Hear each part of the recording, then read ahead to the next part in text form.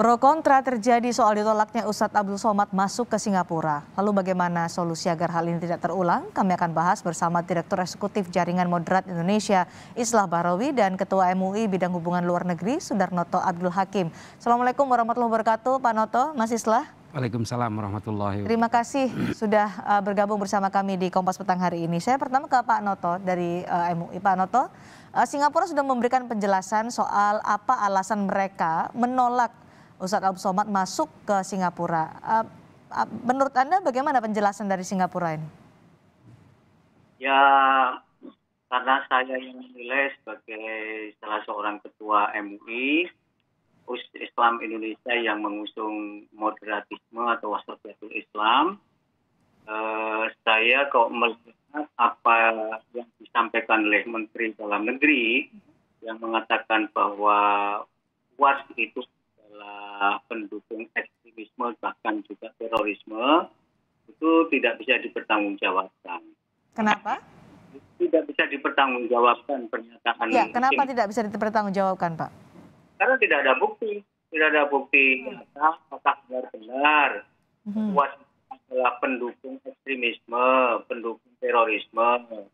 Kalau seandainya UAS itu adalah benar-benar pendukung ekstremisme, pendukung Oke. terorisme, saya kira pemerintah kita sudah lama menangkap uang, Hmm. sudah lama melarang UAS di mana. Mhm. Ini mengembangkan faham pemikiran-pemikiran yang biasa-biasa saja.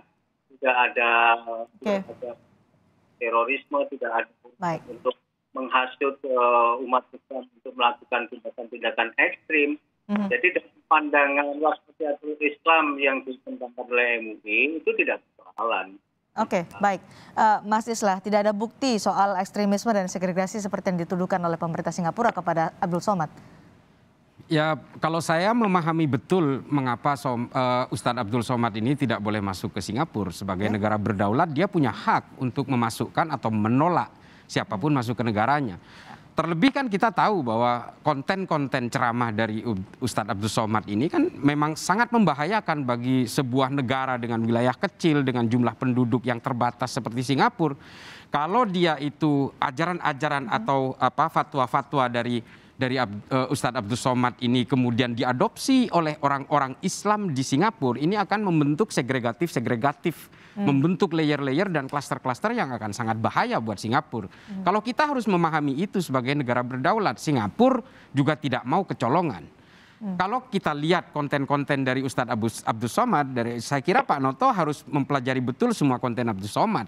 Dia mengatakan bahwa pelaku bom bunuh diri meskipun dalam konteks Israel dan Palestina itu dikatakan syahid dan sebagainya. Saya kira menurut saya ya ini killing suicide ini adalah perilaku teror yang tidak ada pembenaran apa pun menurut kacamata agama. Jadi kalau ditanyakan oleh Pak Noto apa buktinya? Buktinya itu tadi. Ya, dia menyuarakan disampaikan. khilafah secara terang-terangan bahwa kalau Oke. negara dan dia kalau kita mau perhatikan banyak sekali dia menghalalkan pencurian listrik dan air pam kok. Hmm. Ini ini ini betul-betul sangat agitatif dan saya kira inilah baiknya negara kita. Penceramah-penceramah seperti ini masih leluasa bergerak dan Singapura tegas di situ. Ini menurut saya ada hikmah buat kita bahwa Singapura, concernnya Singapura terhadap countering violence and extremism itu betul-betul dilaksanakan. Jadi upaya pencegahan itu menurut Anda? ya? Betul, itu Oke. prevention. Baik, Pak Noto pencegahan yang dilakukan oleh Singapura karena itu adalah hak Singapura sebagai negara berdaulat menurut Mas Islah. Eh, tanggapan Anda? Ya, jadi kalau soal kedaulatan negara, iya, Singapura berhak melarang, berhak mengusir, berhak menerima siapa saja. Uh, kemudian salah satu yang ditolak itu adalah uh, uh, uh, UAS pertama. Tetapi logika kemudian apa ekstremisme, kemudian terorisme itu dikaitkan dengan perjuangan Palestina sebagai tindakan teror itu salah besar. Bapak harus tahu, paham, paham betul bahwa apa yang dilakukan masyarakat Palestina terhadap terorisme Israel, oh itu nyata sekali. Negara telah melakukan violent, itu state violent, dan itu dilawan oleh oleh masyarakat Palestina dengan berbagai cara, bahkan melempar batu yang disebut intifada. Nah, saya tahu betul Israel itu tidak suka kepada kekuatan-kekuatan yang membela Palestina. Dan siapa saja yang membela Palestina dianggap teroris. Hamas contohnya, ya. Oke. Hamas itu dituduh teroris. Karena apa? Baik, Karena kembali ke uh, pernyataan dari Abdul Somad soal ini, soal bom bunuh diri disebut sebagai syahid dalam konteks Israel Palestina, Pak Noto. Iya, jadi jadi perjuangan yang dilakukan oleh masyarakat Palestina itu kan bermacam-macam, Mbak. Jadi itu Oke. perlawanan. Saya ingin ingin Baik. ingin ingin mengatakan begini, siapa yang lebih teroris? Eh, pemerintah Israel kah atau atau Abdul Somad? Oke. Abdul Somad Baik, silakan ditanggapi, Mas Islah. Jadi begini, saya terus terang, saya terus terang, eh, Jelas saya mohon maaf Pak, saya mohon maaf karena Pak Noto ini adalah pengurus MUI. Kalau kemudian membenarkan suicide bombing, bunuh diri dengan cara membom dirinya untuk membunuh orang lain, ini tidak perlu tidak ada pembenaran sedikit pun. Kalau perjuangan iya, saya meyakini itu. Tapi kalau membenarkan bom bunuh diri untuk membunuh orang lain, saya kira saya kita harus membedah ini secara usul fikih yang benar. baik. Saya terus terang tidak tidak bisa mengadopsi itu. Makanya saya betul-betul memahami kalau Singapura mengatakan seperti itu dan bukan hanya itu. Salah satu alasan dari pemerintah Singapura adalah pernyataan Somad yang mengatakan bahwa dalam salib itu ada jin kafirnya segala macam. Ini kan segregatif sekali. Ini betul-betul mendegradasi nilai toleransi. Penceramah-penceramah seperti ini pun seharusnya di Indonesia sudah di-ban. Oke. Ini ini ini betul-betul menjadi hikmah buat kita betapa baiknya, terlalu baik bangsa ini. Mhm. Silakan Pak Noto, bahwa itu menjadi hak dari Singapura untuk bisa mencegah uh, ekstremisme dan to- toleransi. Saya sudah sampaikan, saya paham apa yang difikirkan oleh Singapura itu saya paham. Tapi saya kan berhak menolak uh, alasan atau, atau argumentasi dari pemerintah siapa Singapura. Berhak saya melakukan penolakan dan berhak melakukan kritik seperti kita juga melakukan kritik kepada diri kita sendiri. Jadi menurut hemat saya terlampau berlebih-lebihan untuk mengatakan bahwa sekedar mengatakan begitu kan bisa jadi begini loh. Orang-orang orang-orang yang di Palestina itu melakukan bombing itu dalam keyakinan mereka ya kalau kalau tentu saja Baik. dalam konteks Indonesia itu tidak Hmm. tidak pas ya. Tapi Baik. dalam konteks masyarakat Palestina, orang Palestina yang tertekan sedemikian rupa kemudian melakukan perjuangan antara Pak Noto maaf saya potong karena konteks kita tidak membahas soal uh, Palestina dan juga Israel. Kita membahas soal bagaimana Ustadz Abu Somad dalam uh, uh, ketika akan berkunjung ke Singapura kemudian ditolak karena isi ceramahnya yang dipermasalahkan oleh pemerintah Singapura. Iya, itu yang saya ingin katakan. Logika mengkaitkan ceramah-ceramah ceramah-ceramahnya Abu Somad itu dengan konteks Palestina itu yang tidak cocok, Hmm. tidak cocok. Kenapa mesti dikaitkan dengan Palestina? Palestina situasinya beda dengan Singapura. Palestina berbeda beda dengan Indonesia. Kalau Indonesia berjuang tentang ke- kedaulatan bangsanya tidak sama dengan orang Palestina. Sama saja dengan Singapura. Singapura juga tidak begitu. Beda sekali. Jadi jangan mengkaitkan dengan kaitannya. Itu tidak konteks konteks Oke. Oke, kondisinya berbeda, Mas Islam. Ya, Tidak bisa dikait-kaitkan Singapura dengan Saya terus terang menentang ini. Dalam konteks Singapura, Pak Noto juga harus mengerti bahwa Singapura punya hubungan diplomatik dengan Israel. Ini yang harus dipahami. Nah, Ya. kalau adopsi fatwa dari Ustadz Abdul Somad ini dipakai oleh orang Singapura dan kemudian meledakkan dirinya di depan kedutaan Singa- kedutaan Israel di Singapura. Coba bay- bayangkan. Jangan melihat konteks Israel dan Palestina ini hanya di Israel dan Palestina. Kita harus melihatnya di seluruh dunia. Nah, wajar Ya. sekali kalau pemerintah Singapura kemudian melarang dia karena dia mengeluarkan fatwa yang membahayakan secara internal di domestik Singapura.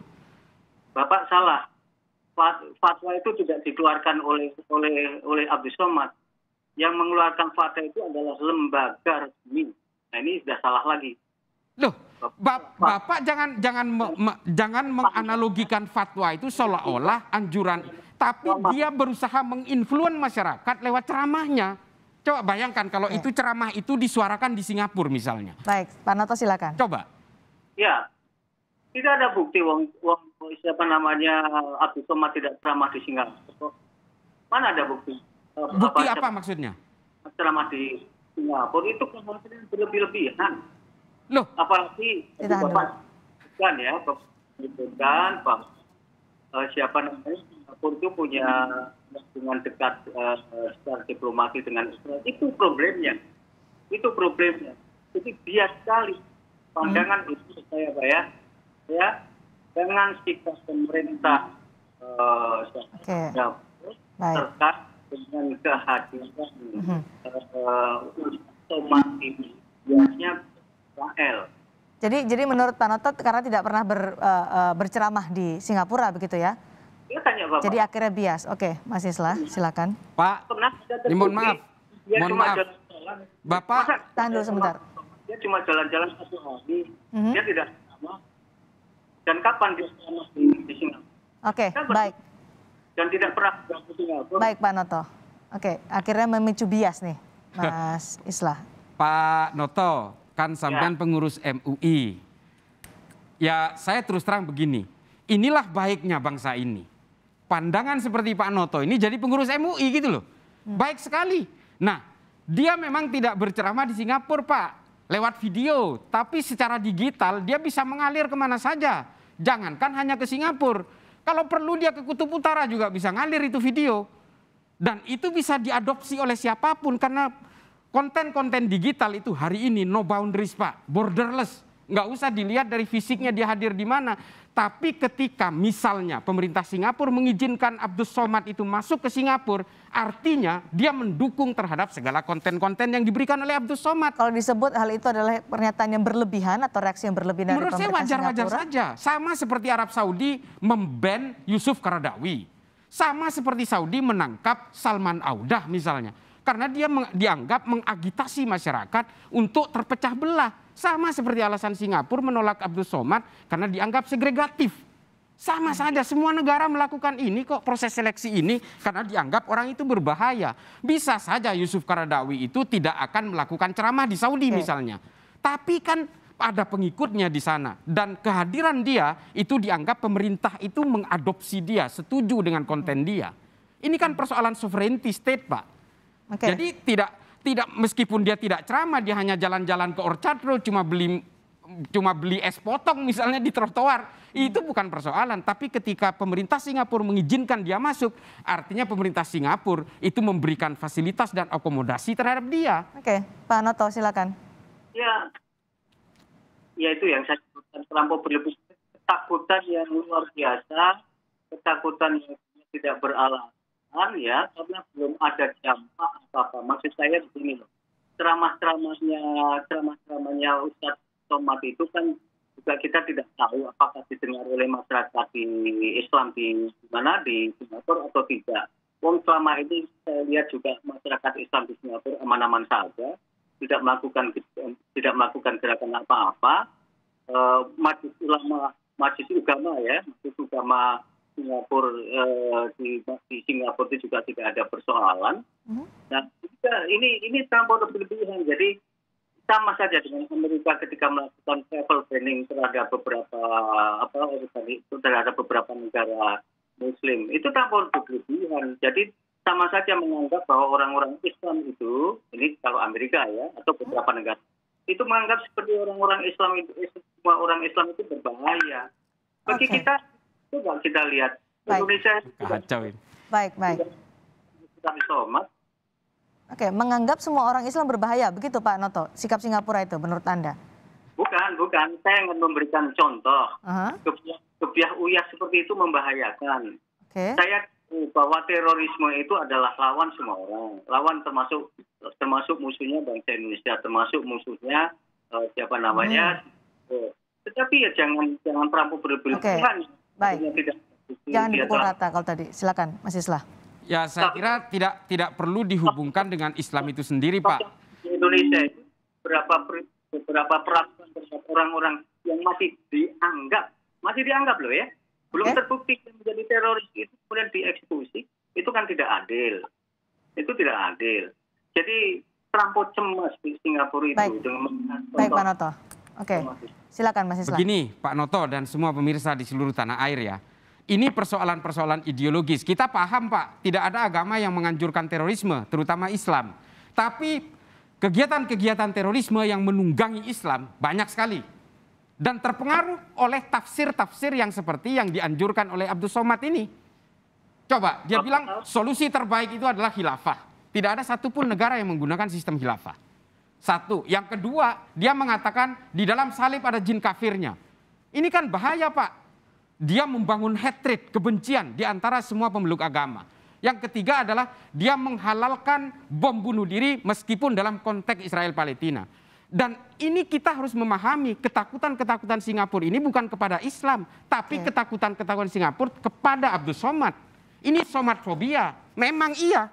Kalau saya terus terang, saya kalau melihat ceramah-ceramahnya Abdul Somad, Oke. ya saya juga saya juga pasti menolak. Saya akan takut karena anjuran-anjurannya memang selalu kontradiktif. Karena Islam tidak seperti itu menurut Kembali saya. lagi pertanyaan, tidakkah berlebihan sikap itu? Berlebihan. Oh Maksudnya apa? dari Maksudnya Singapura? Dari Ber- Singapura. ah. Enggak, wajar itu. Kalau saya jadi orang Singapura juga akan melakukan hal yang sama kok.